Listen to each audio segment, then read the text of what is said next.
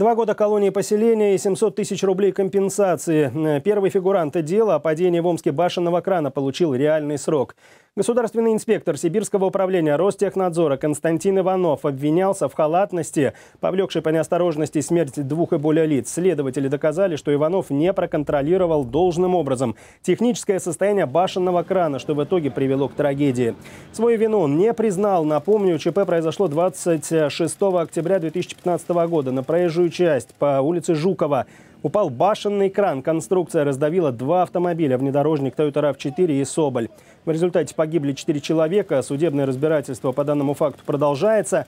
Обвиняемыми по делу также проходят учредитель группы компании «Жилстрой» Just Fit Life Виктор Полукаров, директор фирмы Константин Семенов, начальник строительного участка Сергей Масленкин и крановщик Федор Елькин.